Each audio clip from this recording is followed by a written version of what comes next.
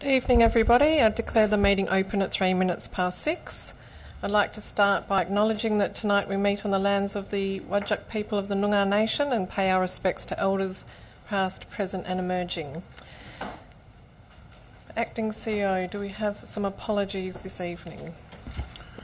Uh, yes, Mayor Cole, we have apologies from Councillor Josh Topelberg, apologies from Councillor Jimmy Murphy, and the Chief Executive Officer, Len Kosova. Thank you, Acting CEO. I note that Councillor Ros Harley is also potentially running late, um, but I haven't had any confirmation of apologies at this stage. So we will go to public question time. Um, welcome to the members of the public gallery. Please um, do feel free to um, address council on any matter on the agenda this evening. There's no set order. We do just ask that you state your name, your address, and the item to which you are speaking, and we do time you to three minutes, um, so it'd be appreciated if you're um, able to keep to that. We do have a few declarations of interest this evening, so please bear with us while the acting CEO takes us through those. Uh, through you, Mayor Cole, before I do start with the declarations of interest, I will just confirm that we've received a late apology from Councillor Harley. Uh, so I've received a disclosure of interest affecting a partiality from Councillor Jonathan Hallett. Uh, that relates to item 5.3, number 4587 Bulwer Street, Perth, proposed amendment to operating hours of previous approval, change of use from office to eating house. The extent of Councillor Hallett's interest is that he lives within the consultation area for the application. As a consequence, there may be a perception that Councillor Hallett's interest on the matter may be affected. Councillor Hallett has declared that he will consider the matter on its merits and vote accordingly. I've also received a disclosure of interest affecting impartiality from Councillor Fotakis. Uh, that is in relation to item 5.4, number 34 Cleaver Street, West Perth, proposed four group dwellings. Councillor Fotakis has disclosed an association with the applicant, um, Mr Trent Deward, who was speaking tonight on behalf of the applicant, who is a member of the City of Vincent Business Advisory Group, of which Councillor Fotakis is a council representative on that group. As a consequence, there may be a perception that Councillor Fotakis' impartiality on the matter may be affected. Councillor Fotakis has declared that she will consider the matter on its merits and vote accordingly. I've received a disclosure of financial interest from Mayor Cole. Uh, that is in relation to matter 5.5, which is numbers 20 and 120 and 121 Summer Street, Perth, proposed four three-storey group dwellings. The extent of that interest is the applicant, Leslie Thomas, provided voluntary campaign assistance for Mayor Cole by leafleting during the February 2017 extraordinary election as registered in the gifts register. As a consequence, Councillor Cole is not seeking approval to participate in the debate or to remain in chambers or to vote on the matter. I've received a disclosure of interest affecting uh, from a financial perspective uh, from Councillor Castle. Uh, that is in relation to item 5.10, which is the outcomes of advertising the town centre place plans. Councillor Castle has disclosed that she has an association with the applicant, that association being that she is currently engaged by Mount Hawthorn Hub to provide graphic design services for the Streets and Lanes Festival. As a consequence, there may be a perception that Councillor Car- Castle's interest on the matter may be affected. Councillor Castle has declared that she will consider that. Uh, sorry, I, I, correct myself. As a consequence, um, Councillor Castle is not requesting approval to participate in debate in relation to that matter. I've received a further disclosure of financial interest from Councillor Alex Castle in relation to item 12.1, that is the review of policy number 4.2.13, Design Advisory Committee and appointment of Design Review Panel. Councillor Castle has declared an indirect financial relationship with one of the applicants, Manira Mackay, through her work for Mount Hawthorn Hub. Ms Mackay is a committee member of the Hub. As a consequence, Councillor Castle is not seeking approval to participate in debate or to remain in the chambers or to vote on the matter. And finally, I have a disclosure of interest affecting impartiality from Councillor Fotakis, also in relation to item 12.1. Councillor Fotakis has disclosed that she has an association with Simon Venturi, who is one of the applicants, who also serves on the city's Arts Advisory Group, of which Councillor Fotakis is a council representative.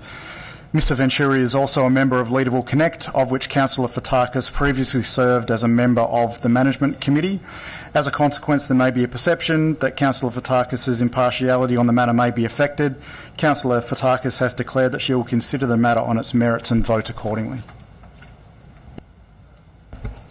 Thank you. That was a bit of a mouthful, Acting CEO.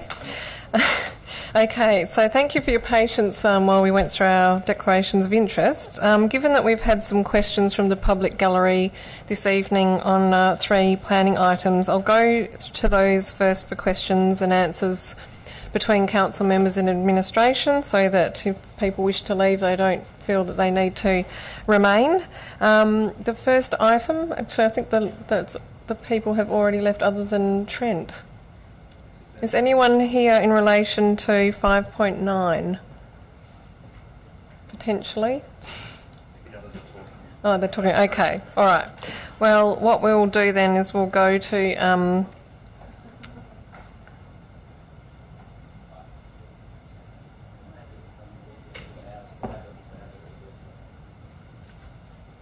okay, I was actually um, going to bring forward 5.9, but I believe that the lady who asked questions has left. So we'll go to 5.5, which is 120 and 122 Summer Street, Perth, proposed for three story group dwelling. Um, I have a financial interest on this matter, so I will ask the Deputy Mayor to come and chair in my absence. Thank you.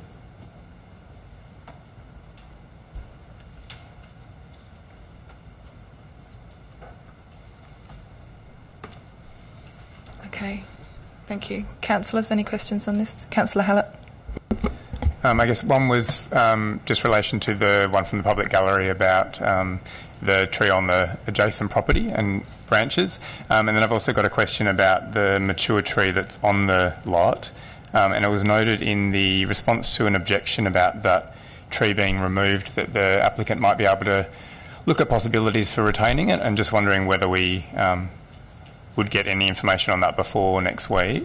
Um, and then, in addition, what capacity is there to require that the landscaping plan includes mature trees rather than, you know, if it does have to be removed? Yes, through the Deputy Mayor. Um, in relation to the first question, the, the development's about four metres from the boundary, so in, it falls the um, proposed building itself um, falls outside of the canopy area of the tree. So um, I think with appropriate um, building works, there, there, shouldn't be any impact on those trees on the adjoining properties.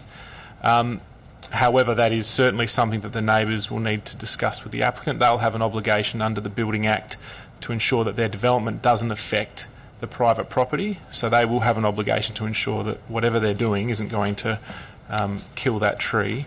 Um, and that is a, a, private matter between um, the two landowners, or the builder and the, and the landowner. In relation to the tree on um, the subject site, the, the, applicant has, the builder has said um, that they were that they will look to try and retain the tree uh, if possible. It's certainly not part of this development application. They haven't proposed to retain it. There's still question marks from their perspective around whether they can or they can't, and they um, they haven't committed to doing that at all as part of this application. So um, there isn't sufficient information at this point um, about whether it will or won't be retained. That's something the applicant will determine through the process. In any case, they've met the um, landscaping requirements that the city has. So um, we haven't recommended that it be a requirement of the approval. Anything further, Councillor Hallett? Any other questions, Councillor Loden?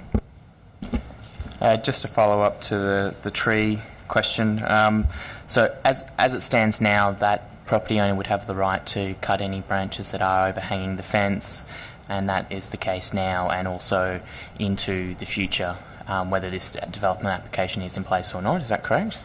Yes, through the Deputy Mayor, that's correct. But then they wouldn't have any ability to impact anything that is not on their boundary.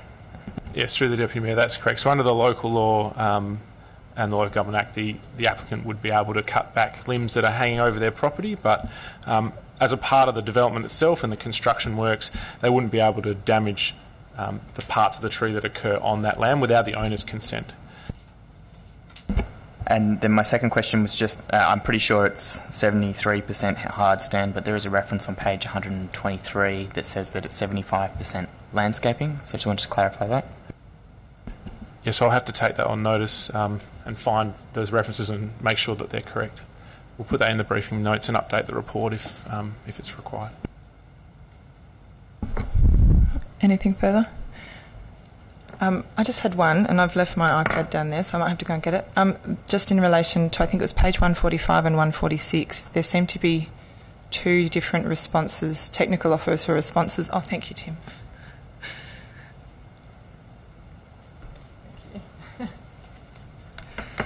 um, just there was two. Um, no, I'm going to find struggle. So um, there was the summary of submissions on page 145, and then on 146 there was also another summary of submissions that had two pages. Um, and I just was wondering if that was a duplication because the assessment on visual privacy seemed to be quite different. Yes, uh, one of those is the applicant's response to submissions, and one of those is administration's. Um, I can tell you which one. I just need to go to the.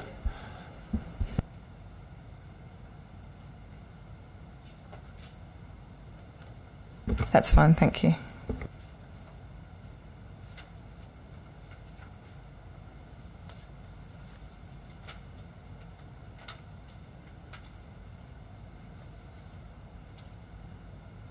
And then I just had a follow up in relation. It was in relation to that as well, just in terms of the visual privacy um, on that um, on the western boundary. Um, just that the the interaction, I guess, between screening to ensure that the visual privacy is met, and then um, also, I guess, the impact potential impact on sort of, I guess, articulation to, um, you know, make sure that um, the the bulk of the building is not uh, overly impactful. Um, just, I guess, just for some advice as to how those two um, elements can um, successfully interact. Yes, through, through Deputy Mayor, the um, the condition's been worded deliberately to allow um, either screening or the modification of um, the opening itself. So it doesn't necessarily need, to have screening there, which may add to the bulk. It might be um, that the, the glazing of the window is changed so that that doesn't impact um, the perception of bulk or the amenity of that um, facade to that boundary. I think it depends on the context, and so we've worded that condition so that we can work with the applicant through that issue and make sure we address both um, outcomes. Okay, thank you. Nothing further? Okay, I think we'll move on.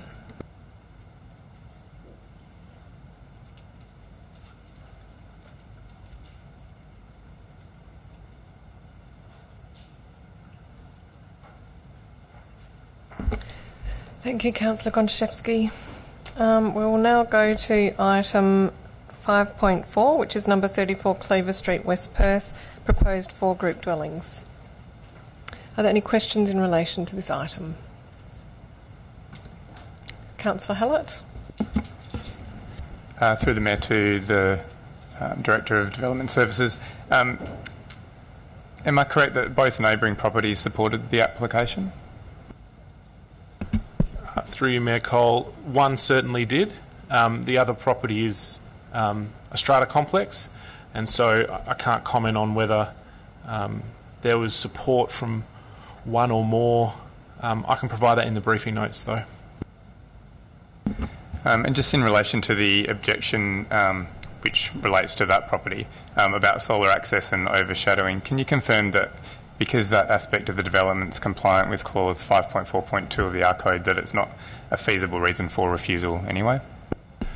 Through Mayor Cole, that's um, correct to a degree, so it wouldn't be a reason for refusal on its own. If the setbacks were creating an issue, however, um, overshadowing is um, a, a reason um, or a requirement. Addressing the overshadowing issues is something that needs to be looked at as part of any setback variation. I think there is a setback variation to that boundary. However, um, on assessment, we consider that the overshadowing falls over um, the buildings themselves on that on that adjoining lot on that strata development, um, and that the because of the way the building has been split in two with that internal courtyard, um, it's actually maximised the amount of light um, that's getting to those courtyards of the strata development, the internal um, open space areas.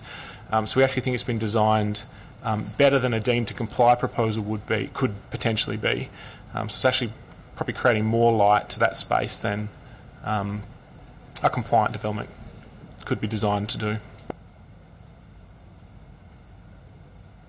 Any further questions in relation to 5.4? Councillor Gontaszewski. Thank you, Mayor. Through you to the Director of Development Services. Is there a bus stop right out the front? And if there is, how does that manage with the crossovers? Just the picture, it looked as though there was. Um, I could be wrong. There may be a bus stop there. I'd have to take that on notice. I, I, I have not seen. I've been out to site a couple of times. I haven't seen it, but I'll um, I'll take it on notice and provide it to make sure that there's no issue with the crossover. If there is, the bus stop would need to be moved, but we'll um, and that'll be the applicant's responsibility. We'll, we'll um, look into that. And just one further. Um, so I note that the applicant, uh, that the development provides eight residential bays, but it doesn't provide a visitor bay. Um, just uh, that didn't seem to be sort of ref, um, referenced in the assessment of parking and access. I don't think in terms of the words. So it'd be just good to sort of have that there to draw everybody's attention to it. Thanks. Yes, through you, Mayor Cole. We'll, we'll certainly add that just to um, clarify that there's no requirement for visitor bays because it's a group dwelling development. So it's on the fifth dwelling um, that uh, visitor bays would be required. If it was a multiple dwelling proposal, there would be visitor bays required, um, but it's not, and so different standards apply under the R codes. But we'll set that out in any case in the, um, in the report. Any further questions on this item? Councillor Gontaszewski, you're still thinking about? No, you've moved on. Okay, great. Well, we will then move on and we'll go back to the beginning of the um, reports and uh, start with 5.1, which is number four of 190 Scarborough Beach Road, Mount Hawthorn. Change of use from recreational facility to unlisted use, non medical consulting rooms. Councillor Hallett. Thank you, Mayor. Through you to the Director of Development Services. Did the previously approved use on that site um, that also had a parking shortfall pay any cash in lieu?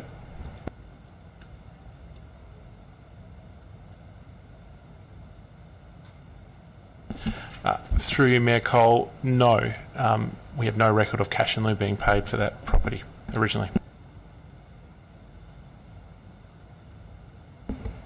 Councillors, Councillor Loden. Uh, a couple of questions, but on that same topic, um, what was the car park calculation for the, the gym that was previously there?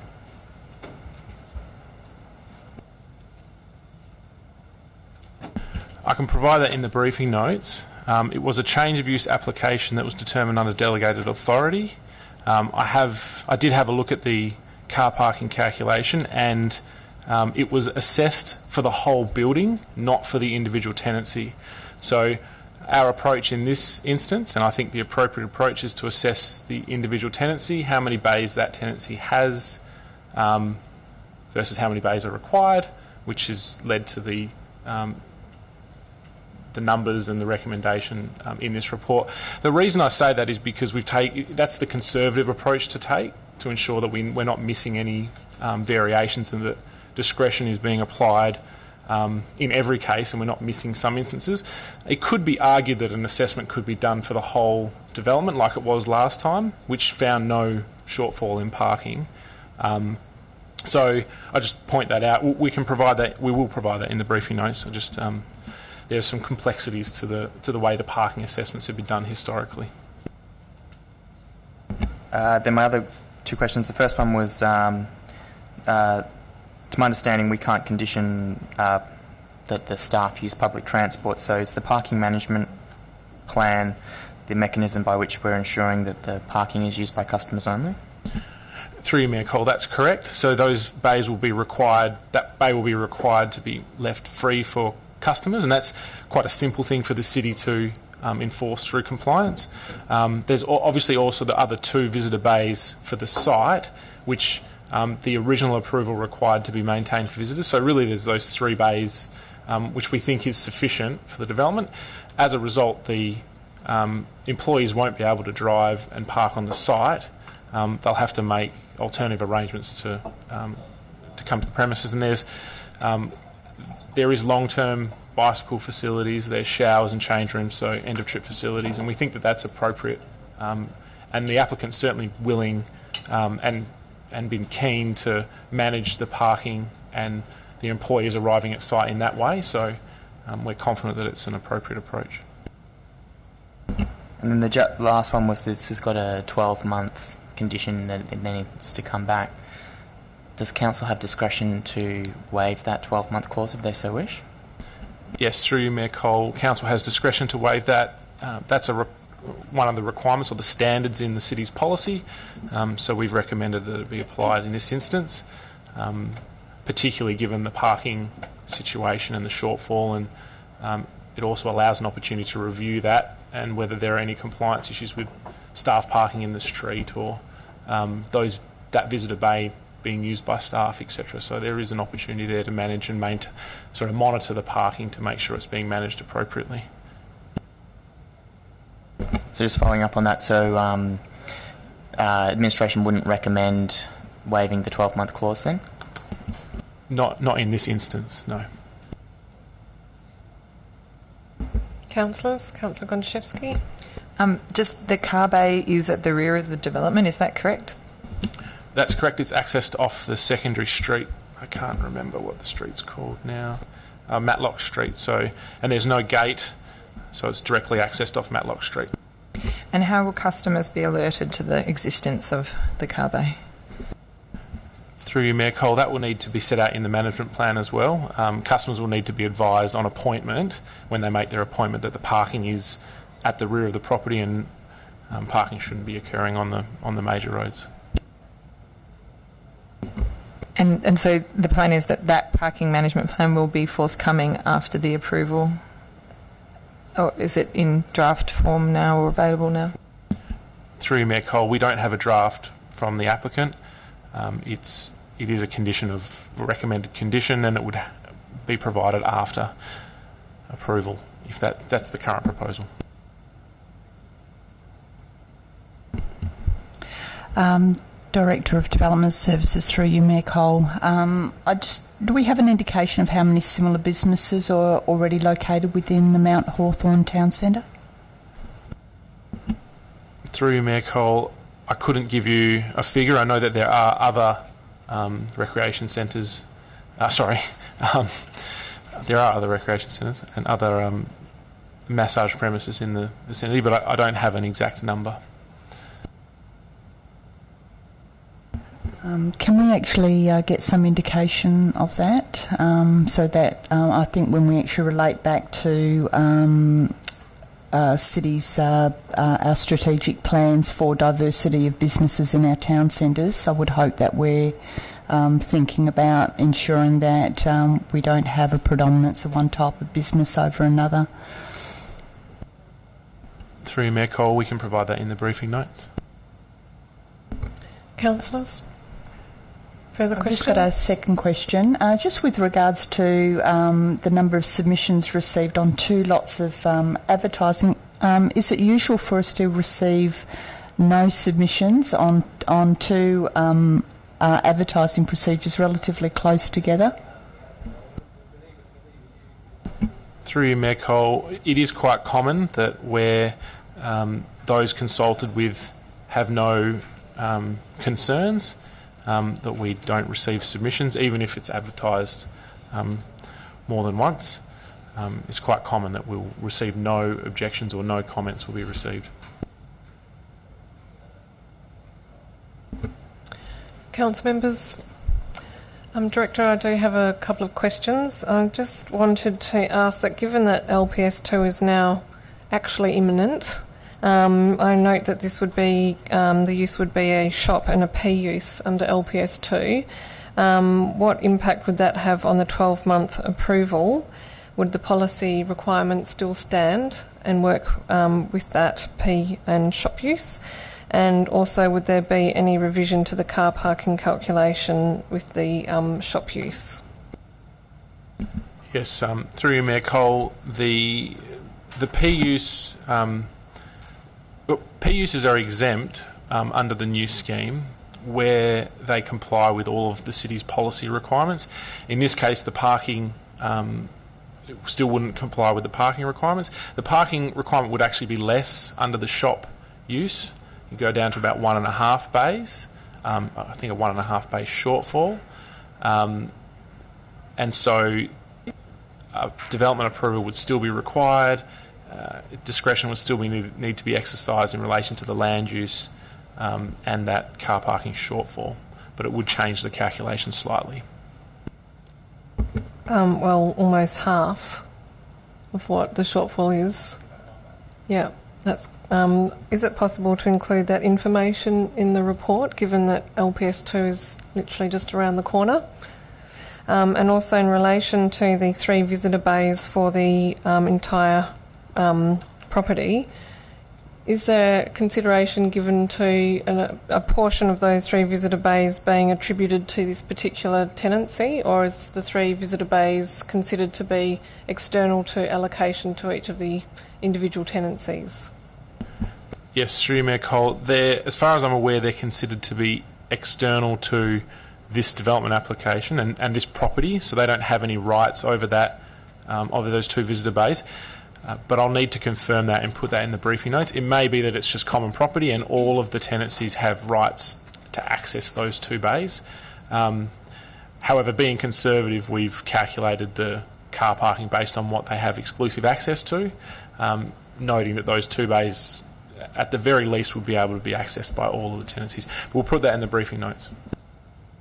Thank you. Any further questions on 5.1? Okay, we'll move on to 5.2. Numbers 103 to 107, Edward Street, Perth. Change of use from warehouse to place of public worship and warehouse. Councillor Hallett. Uh, through the Mayor to the Development Services Director. Um, in relation to the condition about restricting Monday and Saturday opening hours, I know that's requested by the applicant, but just wondering whether that we have to have a condition saying they can't use the property for two days a week through you, Mayor Cole, there's certainly no requirement. That's what the applicant applied for. That's what was advertised to the surrounding neighbours. Um, and on that basis, we've recommended that be conditioned. It is um, very similar to what was approved um, on a separate site by the same operator. Um, and that development didn't go ahead, and they've they're now pursuing this site.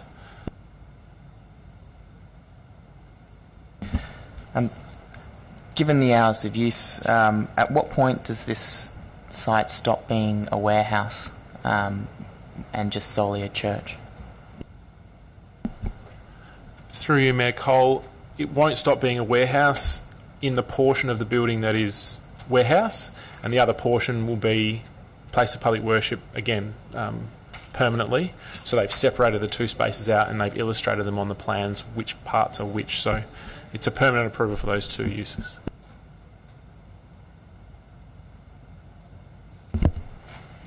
Uh, through you, Mayor Cole, uh, uh, to um, the uh, director, um, just is the applicant actually currently operating um, any businesses within the city of Vincent or uh, nearby in the city of Perth?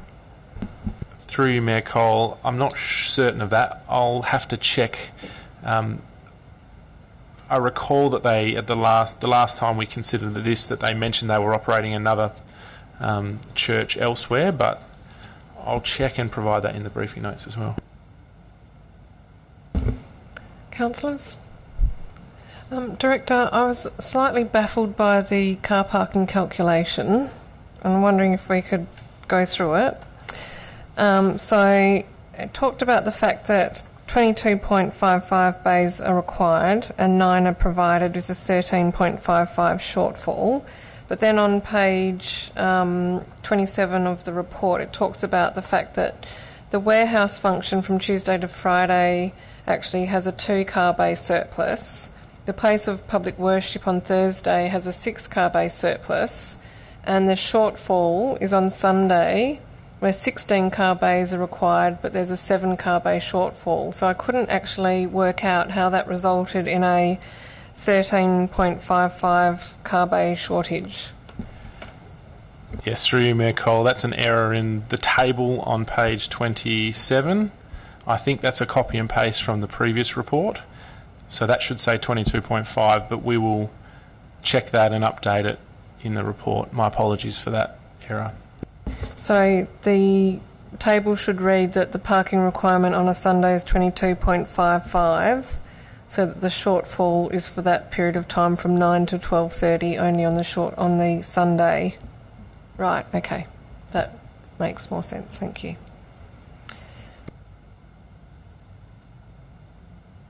Um, the other question I had, oh no, that's that's pretty well outlined in the report actually. Um, are there any further questions on the place of worship? No, okay, thank you. Item 5.3, number 45 of 87 Ball Street, Perth. Proposed amendment to operating hours of previous approval, change of use from office to eating house. Any questions? Councillor Hallett? Um, is there a reason we've included the condition that it not be opened on public holidays? Is that mandatory? Through you, Mayor Cole, that was included in the previous approval. So the close on public holidays was a requirement under the previous approval, and um, it's not set out in the policy though. It's just to be consistent. The applicant has applied for um, the 7 a.m. till 12 p.m. Monday to Sunday, but has not applied for the public holidays. Um, do we have other businesses that have that open on Sunday but not on public holidays? Because I know we've approved a few, um, more likely bars, but to if they have the same opening hours on Sundays and public holidays. Yes, through Mayor Cole, we certainly do have other premises that are eating houses, small bars that are open on public holidays. There's some different um, conditions depending on the situation. Um, in this case, it was simply based on the fact that the original approval by council restricted the public holiday eating hours, um, and we saw no reason to change that. Um, and we weren't certain as to the debate and the discussion that occurred around that issue at the time. Um, and are, are we aware of any intention by the applicant to apply for a liquor licence in the future? I'm certainly not aware through you, Mayor Cole, but I can take that on notice and check with the officers and provide that in the briefing note. Councillor Loden, then Councillor Fotakis. I just wanted to clarify on page 47 uh, in the table, it shows that we require council discretion for land use but not require it for the opening hours. Is that flipped around the wrong way? Uh, through you, Mayor Cole, um, the operating hours set out in the the licensed premises policy, the city's licensed premises policy, state that um, eating houses, restaurants, um, don't have any limit on operating hours as set out in the policy. There's no standard for operating hours, um, and on that basis, it was considered to be deemed to comply, um, while the land use is a discretionary use. But haven't we, hasn't council already previously approved the land use? Through you, Mayor that's correct. Land use has been previously approved, but it's still a, it still remains a discretionary use. Um, this application is not proposing a new land use, so there's um, no discretion there as such. But it is important to understand that it's a discretionary use, and um, the conditions around that. Well, there's there is additional or a different approach can be taken to the conditions that occur around that land use. Um, through you, Mayor to the Director, um, it's just regarding um, operating hours and just following on from um, Councillor Hallett. Um, I do sort of recall that we've had a few approvals where the Sunday prior to the Monday public holiday we've allowed an extended um, time of opening. Is there provision within this for us to actually consider that only on a seeing that the applicants applied for a closure up until um, 12 a.m. that just on public Sundays before public holidays we can entertain? Yes, through you, Mayor Cole. The, the reason we've recommended a 10 p.m. closure is because of the potential impact this premises has on the residential properties above, as opposed to um, the broader area. Um, and so I wouldn't recommend um, allowing additional operating hours before a public holiday or before a, um, on a Saturday night or a Friday night, simply because um, it does have the potential. Um, there weren't any noise um, measures implemented into the, the ground floor of, sorry, the first floor of the building to protect the residential apartments above. Um, so I wouldn't recommend allowing additional operating hours because there's still that potential to have the impact on those residents above, um, even if it's before a public holiday. Any further questions, Councillor Gontaszewski? Uh, just following on again, um, if, is there the potential for those sorts of measures to be met through retrospective implementation of noise dampening? And so is that the sort of thing that could come back to us?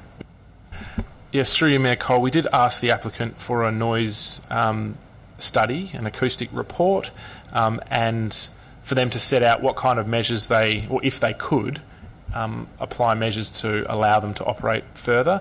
They, um, we, we consider that they're, and, you know, the health officers have looked at the building plans and have looked at the proposal, um, and it, there didn't seem to be any viable option from our perspective. The applicant didn't come back to us with a noise report, and so. Um, given those two factors, we've recommended the conditions that we've recommended. It is possible um, that the condition three in relation to the acoustic report could be combined with the amended condition one and set out that additional hours would be permitted under the scenario that acoustic measures are implemented to make the development comply with the noise regulations. Um, so that is that is an option for council to consider, um, but given we don't think it's a, a realistic option for the developer because of the cost of implementing those measures into the into the roof or into the ceiling of the tenancy, um, and given the strata restrictions because it's a strata building, um, we think it's simpler just to make it clear what the operating hours should be now.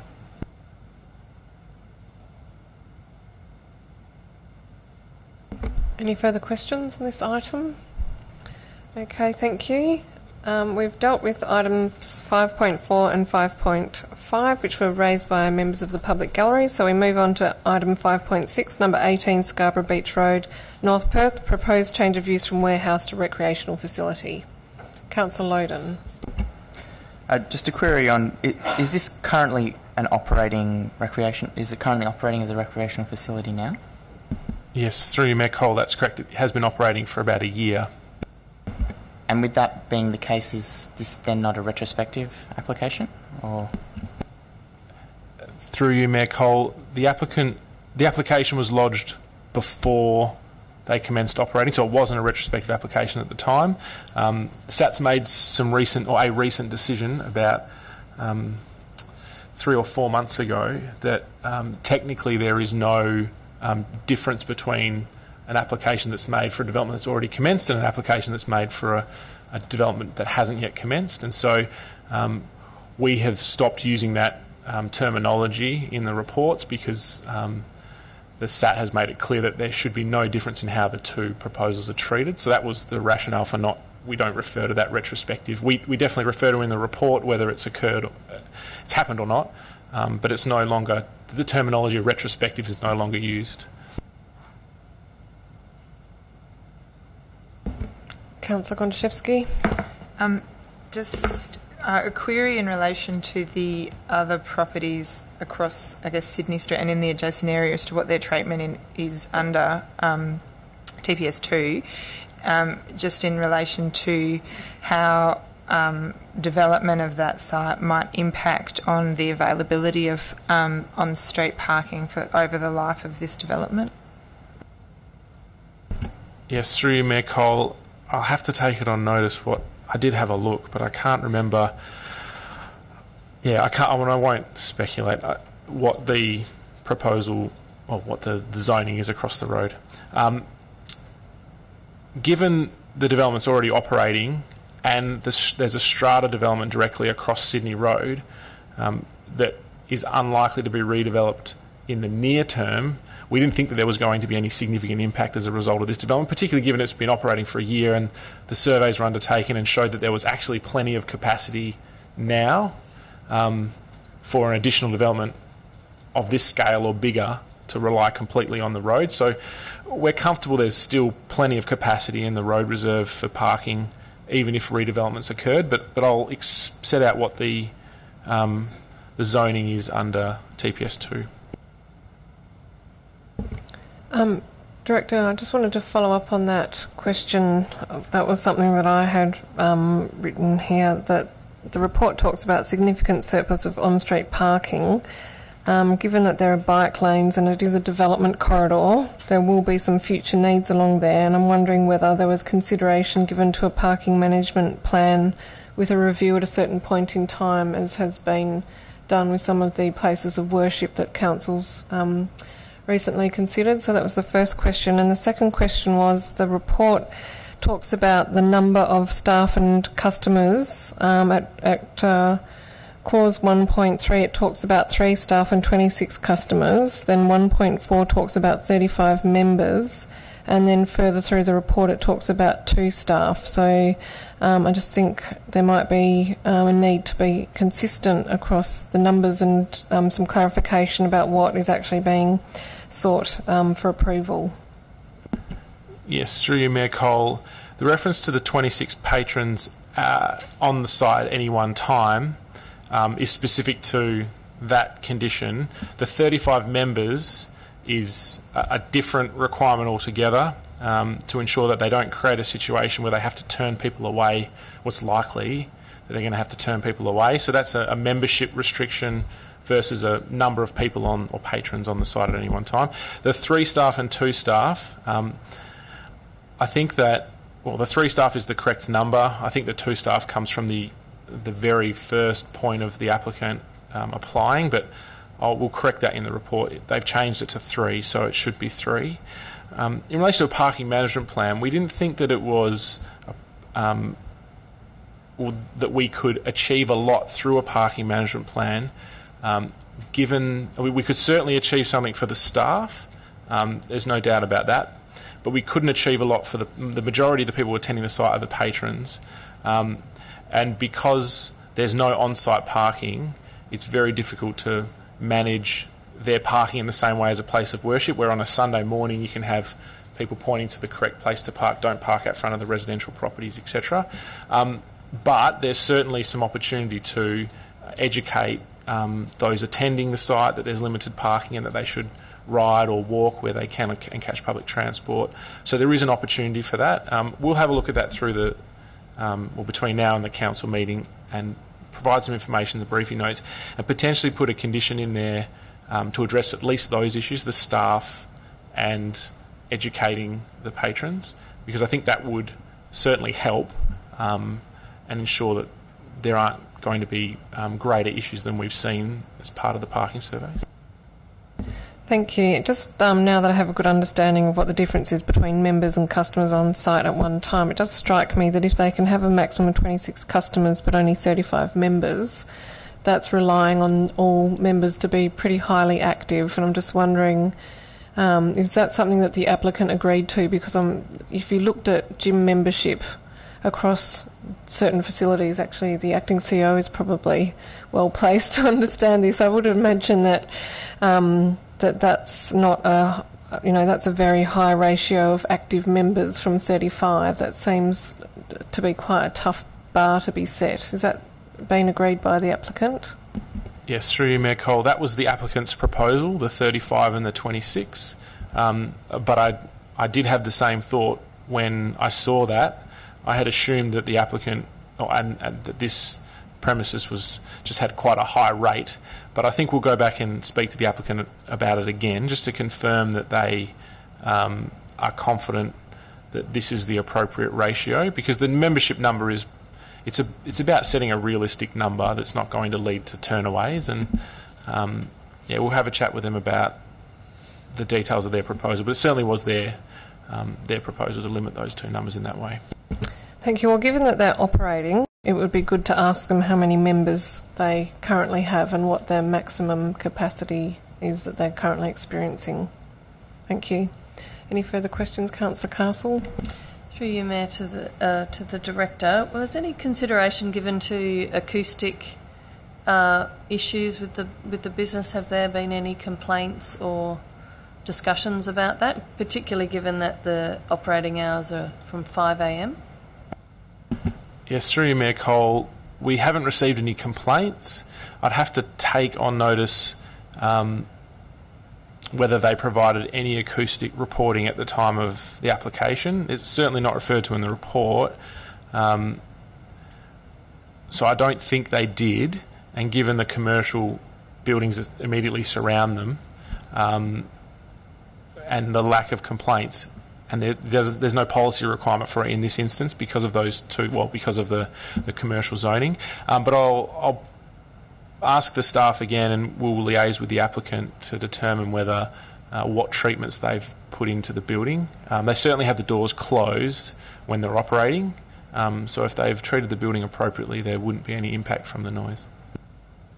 And just to follow on from that, is the entirety of the business conducted on the property, or is it um, a, one of those personal trainer situations where they run around the block and make noise in their vicinity? Yes, through you, Mayor Cole. My understanding is that it's con- entirely contained on the site, but whether they it, they may well um, have that practice of leaving the premises and, and running around the block. So I'll um, again ask the applicant to confirm that. We haven't had any complaints about that either, though.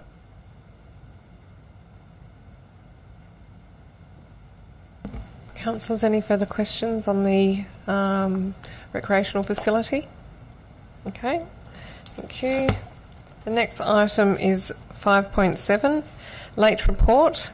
Number 48 Milton Street, Mount Hawthorn, proposed five group dwellings. No questions on this item, Councillor Loden? Just a quick one. Uh, looking at the map on page 14 of the late report, um, it appears that the majority of the street are all three. There seems to be three dwellings or single dwelling properties. I was just wondering if you could confirm um, what the, the predominant thing is in the streetscape. Yes, through you, Mayor Cole, the predominant development is grouped dwellings um, on the streetscape. And are they? Pri- is it primarily three develop three group dwellings on each of those blocks of land? It it depends through you, Mayor Cole, that there's two group dwellings, three group dwellings. Um, I think there's a six as well in there. Um, yeah, so it varies, but the majority of the developments on the street are um, group dwellings. Councillors, any further questions? Um, Director, I just wanted to ask, um, given that this has come forward as a late item and it's a recommendation of refusal, has the applicant given any further consideration to making changes in light of this recommendation, or what, what's their sort of perspective on on the matter? I note that they did not wish to engage with the DAC. I think that was this one, yes, um, but they did make some changes. Is there any willingness for them to consider further changes now that the recommendation's been made public? Yes, through you, Mayor Cole, the applicant has made changes on a number of occasions in an attempt to address the city's concerns, the office's concerns, as well as um, the, the DAC's comments. Um, the last set of plans was received um, about the middle of last week, and that was the reason why the report was late because we needed to assess those revised plans. Um, but all they did was change the material materiality of the development. They didn't change the, the structure and um, particularly the outdoor um, living areas. Um, and so the applicant is aware of the, the recommendation um, and they haven't chosen to um, seek to make any further changes. They certainly made it clear that they weren't willing to change the, um, the floor plan and the, the layout any further. Thank you, Director. Any further questions on Milton Street? No? Okay. The next item is um, the submit 5.8 submission on WALGA draft climate change policy statement. Questions?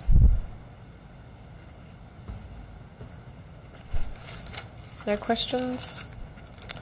Um, I have a question. Um, is this to yourself, Director, or to uh, Manager of Policy in Place? Okay.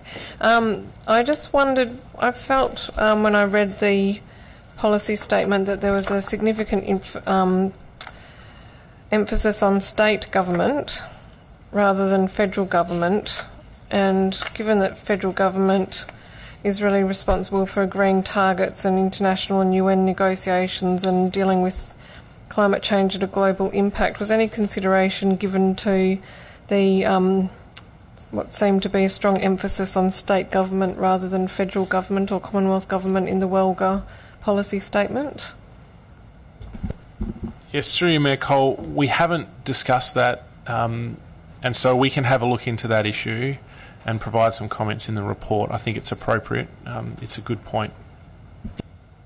Thank you. Look, that did come through quite strongly for me, so I'll see what comes back through the briefing notes, but otherwise I might um, just foreshadow an amendment to strengthen um, the fact that I think that the, fed, the response of the federal government is quite critical, and I believe that's underplayed in the WALGA submission. Any further questions? Okay, moving on to item 5.9, amendment to policy number 5, 7.5.15, character retention areas and heritage areas. And we did have a member of the public gallery here tonight asking questions on this item. Any questions? Councillor Loden. Um, I'll just put forward the questions that the member of the gallery raised and hopefully they're watching at home. Um, so just the three questions that I picked were um, that given that the majority of people on Janet Street did not support heritage retention or character retention, why was administration recommending uh, that, uh, sorry, character, oh, sorry, heritage retention? Um, can you explain the process that went through the consultation that occurred um, and why does the city not consider property values in the process of uh, character or heritage retention? Through you, sorry, through you, Mayor Cole, um, in relation to why the city um, proposed the heritage area for Janet Street in initially, um, although the street has a relatively basic design, which was pointed out during the public question time, um, it has a lot of historical value because it's a very intact example um, and representation of the um, 1920s style development. On the northern side of the street, um, lots of Federation architecture, and on the southern side, it's that interwar period. Um, so, for that reason, um, the the area was considered appropriate for um, heritage listing. Um, during the consultation period, the city didn't receive any objections or additional information that would question the that the validity of that initial heritage area assessment, um, and so that hasn't changed from when council adopted the advertised version of the policy to now. Um, and on that basis, um, we believe that there's no no reason to to downgrade that area. Um, the proposal is also really seeking to um, ensure that future development is sensitive to that existing streetscape. Um, although there's there's um, two developments on the corner of Charles Street and one in the middle of the street that are, um, you know, clearly a lot more modern and have been developed, um, you know, since the original dwellings were there. Um, it's kind of exacerbates the reason and the importance for having this area um, protected from a cultural and historical heritage point of view. Um, in terms of the process that has been undertaken, so um, the city received the nomination for the character retention area back in March 2016, and at the time um, there was indicated 47% of landowners um, and residents on the street were supportive of that proposal. Um, we held workshops with the, the landowners in June 2016 and again in April 2017 um, to ensure that the process was um, transparent and, and ideally being driven by the community. Um, however, it got to a point in that process with the community that we felt it was appropriate to bring a, a proposal to council and um, undertake formal consultation to make sure that um, we were progressing the project um, and not just having lots of chats with the local community about doing something. Um, so the proposal was put together um, in conjunction with the community, with the provisions focusing on um, really ensuring that future development in the area is, is sensitive to the existing development. Um, and that's what was put forward um, through the formal consultation period. Um, we advertised it for um, a, a, significantly longer period than, than required because it was over the Christmas and New Year period and went above the statutory requirements by having walking meetings um, out on the streets with the residents to make sure that we um, really understood the, all of the residents' views. Um, in addition to that, um, because we were advertising the heritage area in the local planning policy, um, that was the focus of our initial consultation.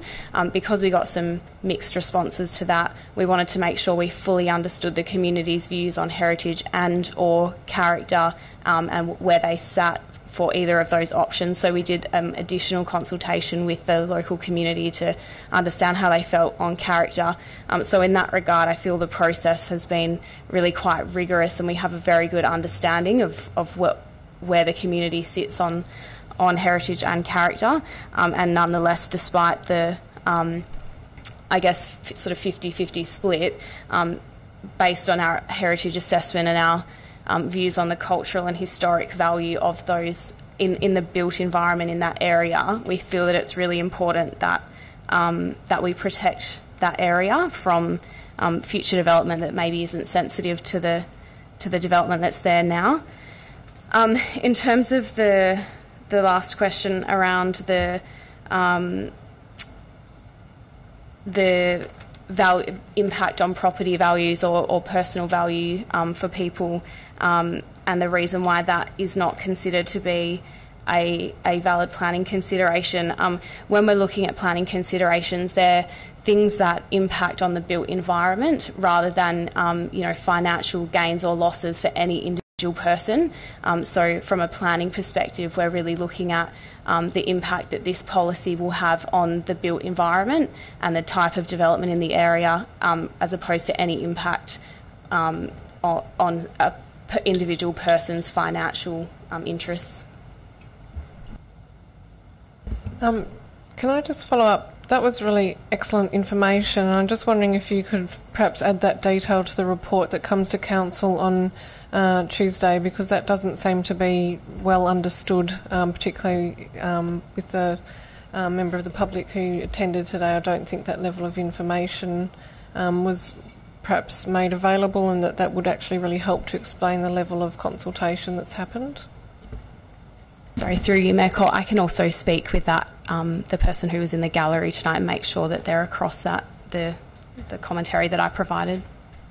Thank you. Um, Further questions, Councillor Castle and then Councillor Hallett. Uh, through you, Mayor, a, a, question in relation to the submissions that you received. Can you tell us, if it may be in the report, uh, what proportion of the landowners does that represent? So 16 submissions. Do you feel that that's a good number um, of responses for the number of landowners there are? And are any of those a double up on property, or is it one submission per property? Through you, Mayor Cole, um, in terms of the number of submissions, I think that it, um, we sort of covered quite comprehensively the street. Um, I think there's about 18 properties that are affected by the the area. Excuse me. Um, I can I can get a breakdown of the representation um, in terms of households. I know there were a couple that um, that were, you know, a, a two people own a property and both people made submissions that were very um, very similar. So I can check that for you and, and provide that in the briefing notes and update the report if necessary.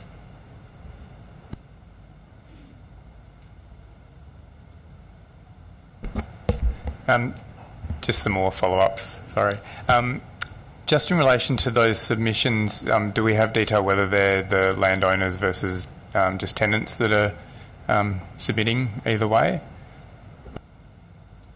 Through you, Mayor Cole, um, I, it's a, a, combination of the two.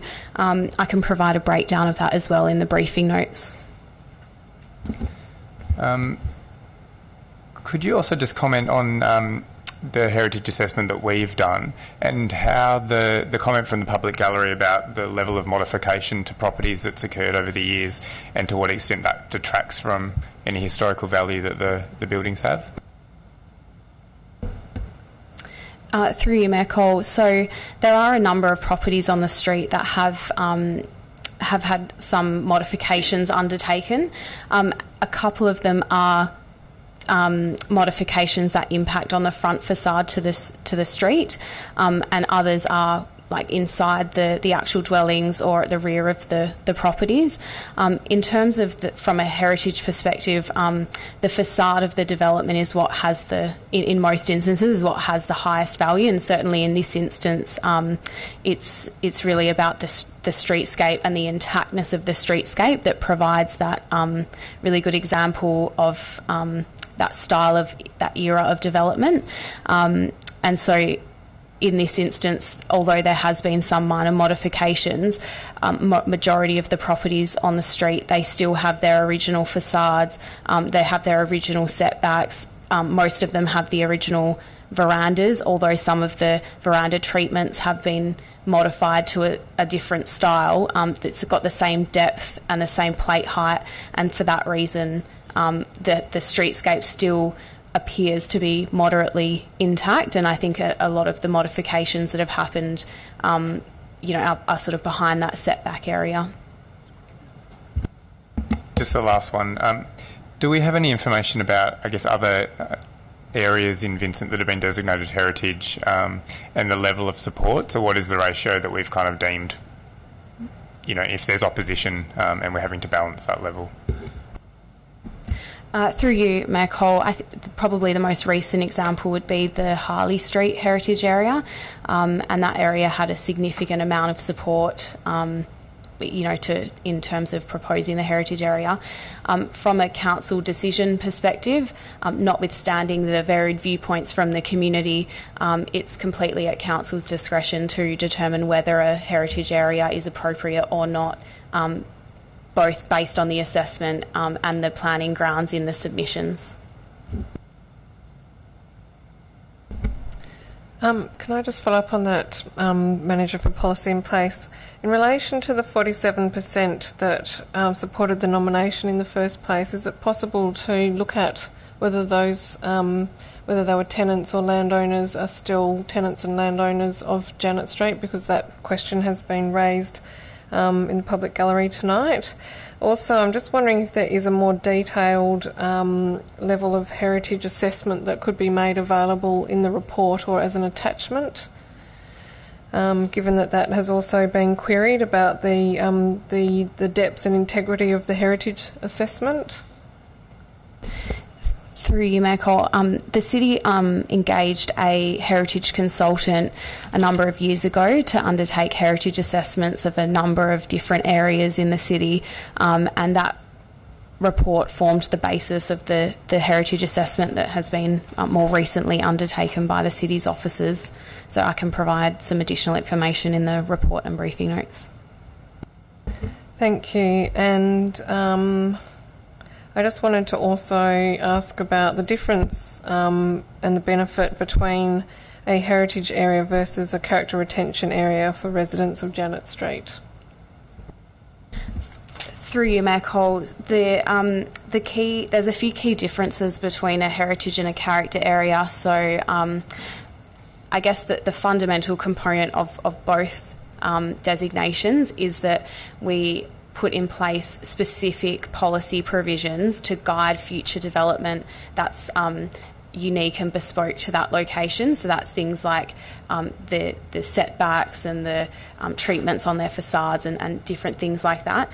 The main difference then is that um, with a heritage area, they will require approval to demolish their um, their buildings. So at the moment, um, with the current state regulation, uh, with a character area, they wouldn't be required to submit a development approval to demolish their um, their building or their dwelling. Um, but if it's designated as a heritage area, they would we would be able to um, bring that to council and, and, decide whether it's appropriate for for demolition. Um, in addition to that, the city has a number of um, heritage policies that would also um, apply to that area. So those they cover things like how we manage that the heritage value there and make sure that it's maintained. Um, how we would deal with applications for development because um, development wouldn't be precluded if it's a heritage area.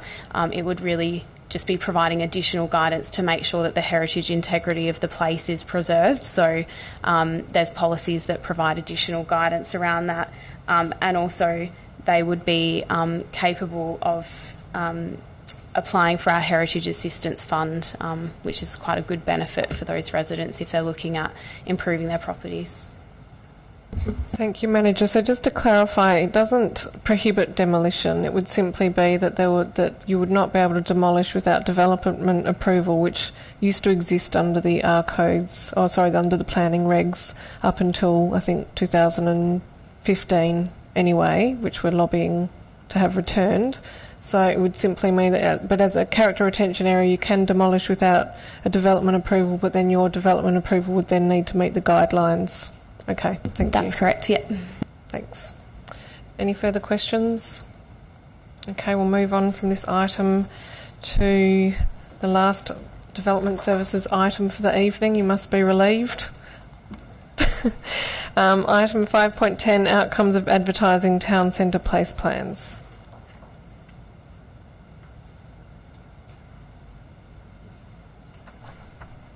Any questions on this item? Place plans.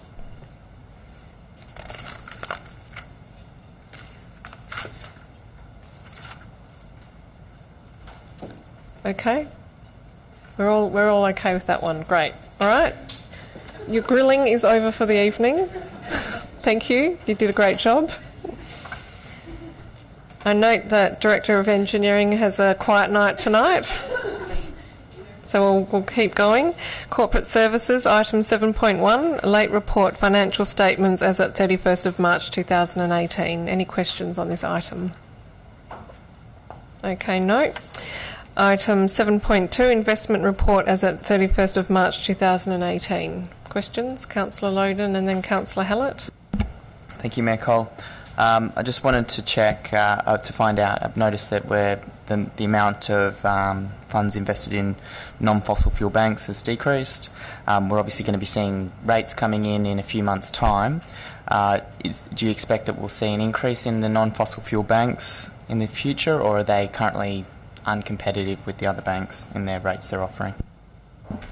Through you, Mayor Cole, um, this is an area that Corporate Services is spending a bit of time on at the moment. Um, basically, what we're trying to do is interrogate further where banks are saying that they're non-fossil fuel, is understanding their um, investments at a more detailed level.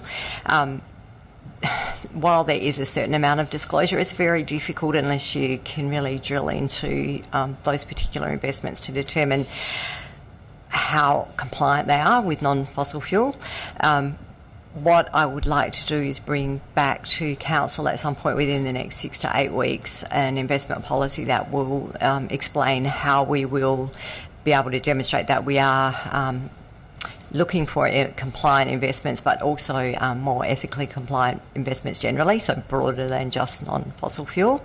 Um, I would expect that at this stage, those investments will get easier to find over time, and particularly as there's more transparency around the investments over time. Um, in terms of rates, look, it's just really difficult to say. We are seeing long-term cash rate is going up, and um, we would expect that that would reflect in bank rates at some point. Uh, it's another reason that I think we need to bring the investment strategy as a whole back to council because it may be that we're better off at this stage um, looking at diversifying investments broader than just um, A and A uh, plus A minus uh, rated banks.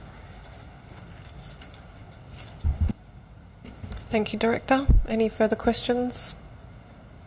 No, okay. Um, we'll move to item 7.3, authorisation of expenditure for the period 1st of March to 31st of March 2018. No, okay. Community engagement, item 8.1, asset disposal, Vincent Community Bus. Councillor Loden. Uh, two questions. Just uh, the first one is: um, Would we will we rescind the community bus policy or is that something that would happen once the bus is sold? Uh, through you, Mayor Cole, uh, the intention is uh, certainly regardless of the asset disposal option that council decides upon, there will be a subsequent report to council um, for a variety of reasons, depending on what, what that option is. But as part of that, we would then formalise the disposal of the bus and revoke the policy. And then the second one was just refers to the, the email uh, acting CEO sent through earlier today about um, the potential to do a public notice instead of an auction. And I just wanted to clarify what administration's view was of the benefits or otherwise of a public notice instead of an auction. Uh, through you, Mayor Cole, it's certainly acknowledged by administration that the, the, the public option, public auction option, as per the Act, uh, is is based on the highest bidder, and therefore it is likely to be the most uh, advantageous approach um, from a financial return perspective.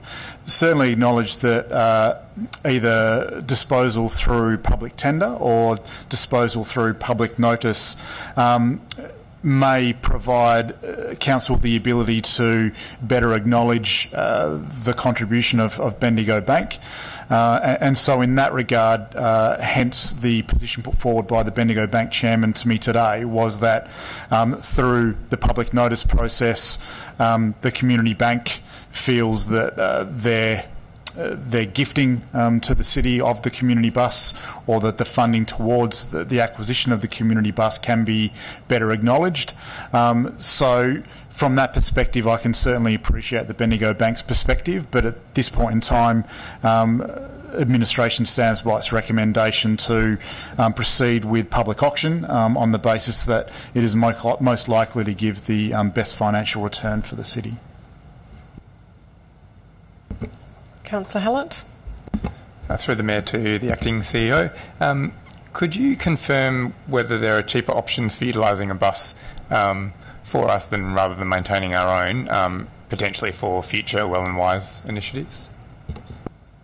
Through you, Mayor Cole, yes, I, I, can certainly confirm that and, and quite easily include that in the council briefing notes. That was part of our assessment over the last 18 months in particular um, to look at the most cost-effective way of providing bus transport um, and it has been a large driver behind our decision making to either use external bus hire companies or um, tour companies um, as opposed to using our own community bus for well and wise activities. So I can certainly include that information in the briefing notes. Any further questions? Um, Director, I just wanted to ask I know that there has been some conjecture over whether the bus, um, Bendigo Bank, would like to pay for the bus or receive the bus for free. There is a there has been an offer of $20,000 put forward by Bendigo Bank at, at one point in this um, discussion. Um, would we be guaranteed at public tender to at least raise the $20,000 that has been offered by Bendigo Bank? Uh, through you, Mayor Cole, through uh, public tender, there is um, no obligation for council to accept uh, the offer purely on the basis of uh, the financial value put forward. So, through the public tender option, we do have the ability to consider not just um, the financial submissions, but other aspects that we may indeed include within the um, tender assessment provisions. Under the public auction um, option, um, I may just defer to the Director of Engineering um, to make sure he's paying attention, but, but also um, given his experience um, in auctioning vehicles and um, based on a conversation we had earlier this week.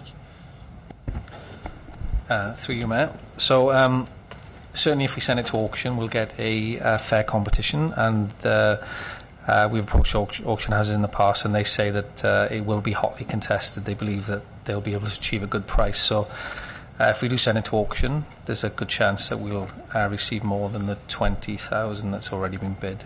So. Um, is it possible to send it to auction with a reserve price of $20,000 given that there has been an offer on the table? And is that something that administration would consider to be reasonable? Yes, uh, absolutely. We would set a reserve price based on a valuation. So if the uh, valuation was 20,000, that's what we would expect as a minimum back. So we'd always set a reserve price based on the valuation given to us by the auction house. Thank you. Is it possible to have a confirmation of what the reserve price would be before the Tuesday council meeting? And that's the conversation that uh, the acting chief executive referred to, Mayor, which was that uh, we will have that valuation before next week's council meeting, an Right. up-to-date valuation. Thank you. Any further questions, Councillor Castle? Through you, Mayor Cole. Uh, just quickly, if we go down the public notice road, um, is the option available to council to not accept any of the tenders if we're not happy with any of the, the offers? Uh, through you, Mayor Cole, yes, Council reserves that right to not accept any of the submissions, um, at which point in time we could then uh, determine whether we want to pursue one of the other asset disposal options or an alternative course of action.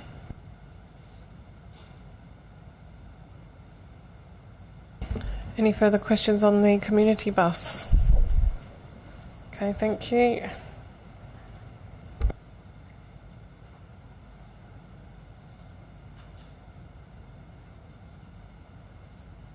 Um, just for an update on the um, what was due to be a late report on the petition to exempt uh, Brisbane Terrace from the new parking zone 7 under policy on parking permits that has been withdrawn and will come back on the 29th of May council agenda.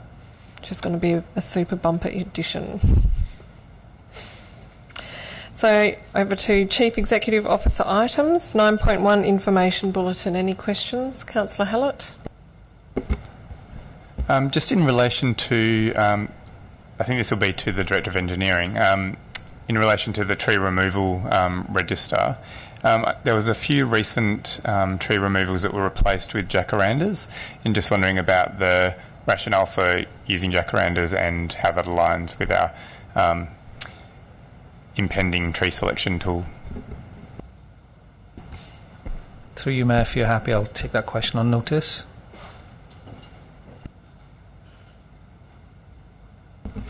any further questions councillor Hallett councillor Loden Uh, also on the tree removal uh, register um, at 118 Vincent Street, says that a tree was removed because it was too close to another tree because it was two metres away. I just wanted to clarify if that's like a common practice because two metres seems like a decent distance. Through your Mayor, if I can answer that. I, I believe that tree was retained because it was two metres away, but if I take that on notice, I'll check that that is the case. It just, uh, I think it's the way it's written, but I'll check that and get back to you in the notes if that's okay. any further questions on the info bulletin councillor Gontaszewski Just, uh, just one quick one more on tr- street tree removal. If, on the occasion that um, a developer is required to plant the street trees as part of their approvals, if they um, die within a short period of time in relation to being planted, is it whose responsibility is it for replacement? I don't Okay. know who that's to. Yeah, I can answer that question through you, Mayor Cole. Um, it will depend on the condition and the wording of the condition. Um, if it's through a landscaping plan, then the applicant um, and the developer will be responsible for replacing the tree if it dies. Um, if the if the applicant and the developer is no longer um, there, then the owners would be responsible for replacing the tree in accordance with that landscaping plan and then maintaining it in accordance with the plan. Any further questions on the info bulletin? Okay. Um, the next item is 9.2, the Australasian Management Challenge Final 2018. No questions? Everyone's happy? Fantastic, thank you. Um, we do have a, another late item which may not appear on your copy of the agenda. Um, this is a late report on the resignation of the Chief Executive Officer. Um, it has only just been provided late this afternoon, so I'm not sure if you've had an opportunity to have a read through or if you'd like a few moments to scan through it now. Um, but if there are any questions, I'll take them now. Councillor Loden. Um, just wanted to clarify um, why specifically it said three council members. Um, I, I guess because previously we've had four on the um, the panel, the, the CEO review panel. Um, as I've specified in the report, there's there's no um, set number of people that council might want to put on this panel. The reason we've recommended three is purely because the previous time we appointed a CEO recruitment panel, there were three um, people on that panel. Uh, so it's in line with previous practice. In addition, um, an odd number on a recruitment panel is often um, a preferable outcome because that avoids a deadlocked um, decision making process. Councillors, it's um, it's it's been recommended by administration, but obviously council um, is able to um, seek to amend or change if that's if that's the will of council. Um, I'm happy to discuss with anyone any expressions of interest um, during the week if you if you want to do that, perhaps by email or. Um, then we can see um, what sort of level of interest we're looking at, and then perhaps make some call on the numbers on the panel. Um, my only, um, I guess, my only perspective on this is that it, it does need to be workable. Um, it's likely to be happening during office hours, and that we'd also have a, um, a recruitment consultant as part of that sort of interview panel as well. So happy to take any feedback or comment on that now or um, during the week. Any further questions about what's being proposed in relation to um, the process? You'll note that it talks about the panel's first step would be to recommend a preferred recruitment consultant back to council for approval and to recommend a process for the selection of the CEO for endorsement by council. So that would um, require an, a further report to council. So this is quite a staged process. Councillor Hallett. Um, I guess there was some discussion previously about capacity within the HR department, um, within admin. Um, I guess how strongly um, do we feel about having an external? That's a very good question, which I asked the acting CEO myself, and I'll hand over to the acting CEO to answer that question. Uh, through you, Mayor Cole, uh, through conversations with the manager of human resources, um, based on her um, experience, um, she views uh, that there would be strong value in using an external recruitment company um, for, for, a number of reasons, but a couple of them being their executive search um, abilities that, that extend beyond our, our own human resources department, as well as the ability to um, implement some other key aspects of an executive search, such as um, um, headhunting and, and, some of those more um, specified human resources um, activities that our own human resources department, again, wouldn't necessarily um, be expert in or be resourced to undertake. Um, having said that, uh, I would certainly see once the panel is formed, uh, the manager of human resources providing some specific advice and direction to the panel in the first instance, and that may indeed change the perspective on that, but certainly based on the initial advice from the manager, it was that a use of a recruitment consultant is, is the preferred um, way to go. Through you, Mayor, uh, just a question. Would you envisage this panel would interact with Council in a similar way to um, how we've seen the appointments of directors recently, where um, basically when it comes back to council there's already one preferred candidate or would so that process is all going to happen at panel level before it comes I, I know there's stages there to review the contract um, but in terms of selection of the candidate that that's really going to happen at the panel level. Are you asking myself that question? Uh, through you mayor. Uh, that is typically how a recruitment panel would work, um, particularly given they'd have the insight of um, being there at the interview to be able to make that decision. However, um, council is free to set out whatever process it deems appropriate for the appointment of the CEO, and um, so that can be uh, that needs to be approved by council, and they can set out whatever process they see fit. Um, just from my perspective, um, if there were two um, candidates that were on par with one another and the, and the and the panel couldn't decide, then you might have a situation where you actually present those options. But um, as Tim, uh, sorry, manager for governance, has suggested often in these situations you are trying to angle to, to bring forward one preferred candidate.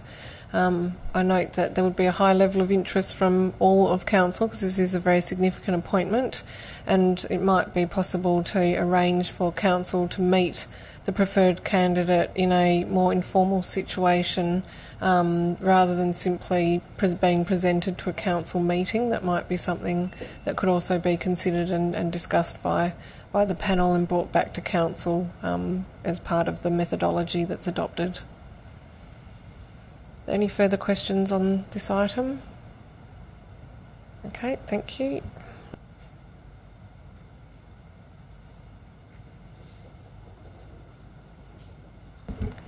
Um, that concludes our reports um, before we move behind closed doors for our confidential items. So at this point, um, we do have uh, two confidential items. Or sorry, CEO, acting CEO has 12.2 been withdrawn, or is that? It has. Okay. So just for the record, item 12.2 has been withdrawn at this stage. So we have one confidential item, um, which is 12.1, a late report on review of policy um, related to the Design Advisory Committee and appointment of a design review panel members. So um, we'll just have to go in camera for